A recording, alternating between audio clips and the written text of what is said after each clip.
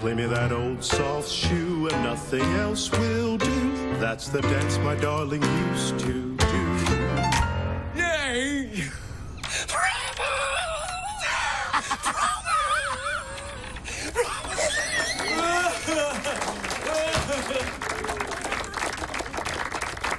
Hey guys, Ryan here, and Gaj is back. We saved him from hell. Thank God, dog. Exactly, and we're breaking down episode 5 of Preacher. It's called The Coffin. And if you read the comic books, then you know exactly where this is headed. Let's jump right into it. But before we get started, be sure to subscribe to GameSpot Universe. We'll be breaking down every episode of Preacher this season. And guys, as usual, there are spoilers ahead, obviously, so go watch the episode and come right back. All right, let's talk about the big picture here. This was one of the most fun episodes of Preacher yet. Oh, by far. Like, it felt the most comic book episode of them all yet. Like, obviously, the coffin. Yeah. Then we had the All Father. and John Wayne, and even Grandma's appearance at one point. A lot of fun comic book references, and if you enjoyed the comics, you're sure to enjoy this episode. Oh, yes. So when we left off on episode four, Cassidy had just left Angelville. He escaped thanks to the help of Tulip and Jesse. Um, and we knew there would be some repercussions for once Jody and TC found out, and they immediately do. And then a, an incredible fight sequence goes down between Jesse, Tulip, Jody, and TC. Oh, it was so good. Like just watching the dynamic, seeing how strong Jody was, Yeah. but seeing what a badass Tulip was, as she like outsmarted them and kind of got the upper hand on TC in that epic bathroom battle. Totally, that's a good point. That Jody um, definitely dominates Jesse. Yeah. It's not a fair fight between those two. We've seen this numerous times throughout um, this show and in the comic books. Um, but Tulip held her own against TC. She did. Like, if it wasn't for the fact that Grandma had Jesse's like life in her hands, so to speak, Yeah. she would have beaten them all. Totally. Like she got her gun, she went out there, and if only she had shot TC first and then went out there, maybe it would have went a different way. A really fun sequence in the whole fight was the bathroom scene. Can we talk about that for a second here? The found object bathroom weaponry. Hair remover.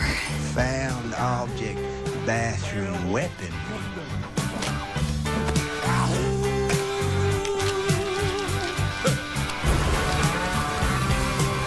The MacGyvering of the like creation of weapons. Yeah, that was a lot of fun. And if you're listening closely, obviously that soundtrack is Werewolves of London by Warren Zevon. I think I'm pronouncing that correctly. And that was actually inspired by a late night viewing of Werewolf of London, the movie, like from the 1930s. I thoroughly enjoyed that. I thought it was a fun little nod to put it into a TV show with, you know, vampires and voodoo and all that good stuff. And then we get to the moment where this episode gets its title, obviously the coffin. This is the punishment that Jesse has to endure from Jody, Grandma, and TC. Yeah, like we've seen the coffin in the comic books numerous times. Like Jesse's been tormented since childhood. Yeah. Like it's the thing that grandma always uses to teach him a lesson whenever he used to cuss, whenever he was just a bad boy in her eyes. Yeah. She would use this to kind of shape him and try to mold him into who it was. But they kind of took a different way with the coffin this time. Yeah, I thought it was a little bit too easy to get out of. Um, obviously, Jesse's older nowadays, um, but it really wasn't believable on how he escaped. And, and, and, and obviously, he should have been dead uh, a long time before that. I mean, he was in that water for quite some time. Yeah. But, um, you know, it, it's in the comic books, it's, it's not an easy escape for him at all. Yeah, it was almost near impossible. Like, Yeah. And this one, it just seemed like he had an endless supply of cigarettes to just keep trying and trying until one just maybe works. But I don't know. It just kind of felt like a cop out to break out of the coffin that way. And if you look closely, Tulip's name is actually etched into the wood in the coffin, so we know that Jesse has spent some time previous years in the coffin as punishment. We saw the name Billy in there, Yeah. which could refer to his childhood friend Billy Bob, which while we haven't seen the show yet, we do know the significance in the comics. And it would be a really cool little nod to the comics if that was true. Another incredible comic book reference during the sequence in the coffin is John Wayne. Um, and this happened a ton in the comic books. I didn't think we were ever gonna get John Wayne in the show. Like he was the imaginary friend that was been there since the very beginning of the comic books. Like he was there since childhood for Jesse. Yeah. And has constantly been a source of like reassurance and kind of like being there for him growing up. But it seemed like the show had abandoned that premise. Right. And it was just so cool to actually see their own take on it, where he goes into their own little fantasy world of He's a like marshal. cowboys. Yeah, and- he's a marshal and he's shooting guys down. Yep. Um, funny thing you say that actually uh, in San Diego Comic Con at the panel, they were actually talking about uh, Seth Rogen and Sam Catlin that they almost didn't want to include John Wayne in the show at all at any point, which I was kind of surprised by. But they said that the show was just so ridiculous with all these things going on that an imaginary friend might not be necessary. But Right. I'm ultimately glad that they ended up including him. I'm glad they did too. And it's not like your normal imaginary friend. It feels like it's only going to be used in dream sequences, Right. as opposed to him walking alongside Jesse everywhere they go. Back in the coffin again, I see. Ain't seen you down here for some time. That's all right, son. Your old pal's gonna take over for you. Next up, it's time for the Messiah. And no, it's not Jesse Custer, as Herr Starr wanted.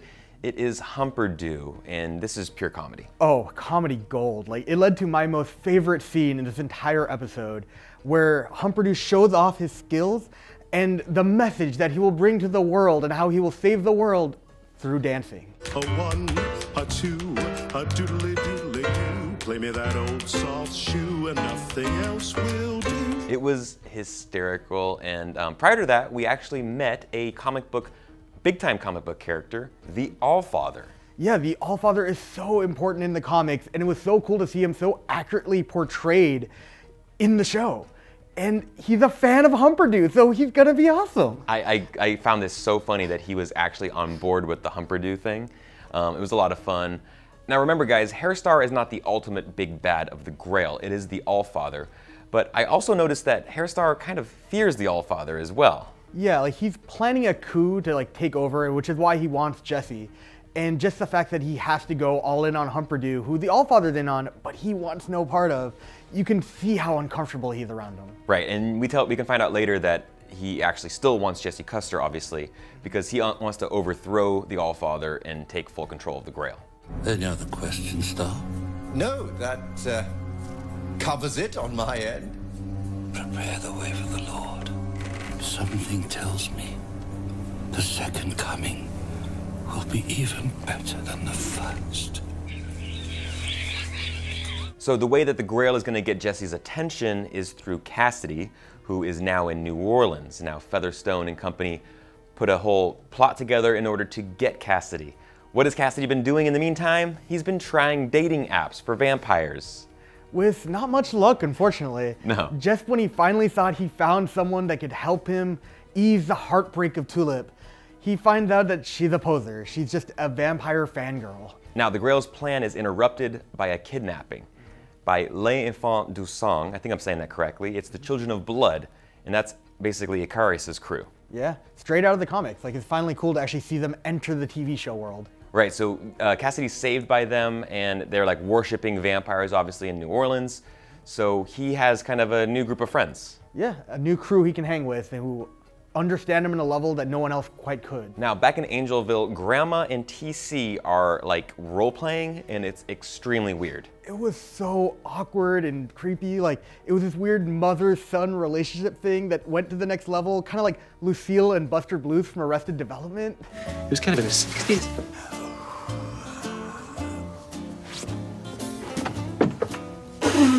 That is spot on. I did not think of that until right now. Um, and also, then we see Grandma get extremely pissed off, and she takes her wig off, and it looks extremely similar to what she looked like in the comic books. Like creepily so. Like it was very spot on and actually it was very weird. Yeah, yeah. Very weird. Um, and then we get the showdown between Grandma and Tulip. And I was actually kind of shocked that Grandma held her own Yeah, for quite like some time. she seemed very agile and spry and actually was hanging in there with Tulip. Like even with the knife, like she was getting the upper hand here and there and even got a little cut in. a lot of uh, a huge contrast between what we saw we- weeks past when grandma was weakened and literally in bed and couldn't move um, so now i guess she can fight uh, anyways we find out that tulip is connected to grandma when grandma brought her back from the dead Yeah, through the fingernails. right so sh- their lives are interconnected so if grandma dies tulip dies I did it. It's over.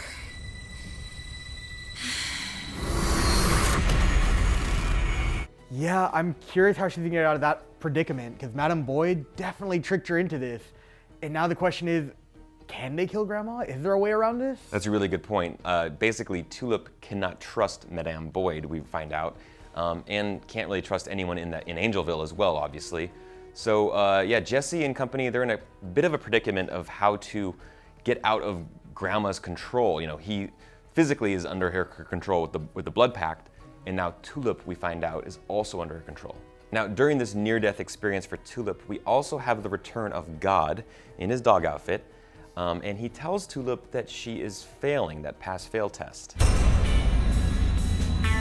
Pass fail, O'Hare. And you are failing. Yeah, it's kind of interesting, and I'm curious to see what exactly is the test that he has for Tulip.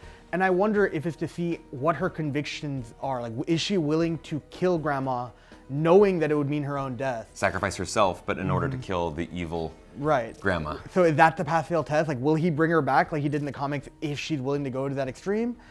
I'm not sure because in the comics the test was more really for Jesse or more to send a message to him. Right. But in the show, I think it's all about Tulip. And then Jesse, Jody, and TC are trying frantically to save Grandma's life so they can save also Tulip's life. And I love this moment because it was spot on Pulp Fiction. Oh yeah, they even made the reference to Uma Thurman. Like she can't take it like Uma.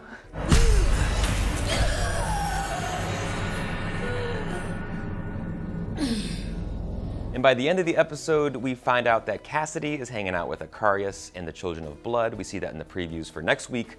And also that Jesse's whole life got a bit more complicated with Grandma and Tulip's lives intertwined, and obviously the blood pact that Grandma controls over him. Right. So there's no easy out right here. No, I feel like there's only like a couple options. Like either he gets the voice back and uses Genesis to get free, mm-hmm. or they go for it and just try to kill her anyways, which would mean Tulip dying and hoping God revives her. Right. Or three, maybe the love potion comes back into play and they use that as a way out. That's a good point. I think Cassidy still has that love potion that he never used on Tulip. Hope maybe he can come back to Angelville and save them. Use some love, pr- spray the love potion all over Jody, TC, and Grandma, and make them love them again. I don't know. Um, but let us know what you guys think in the comments below. We'll be back again here next week for episode six. Now here's a sneak peek. Get her ready.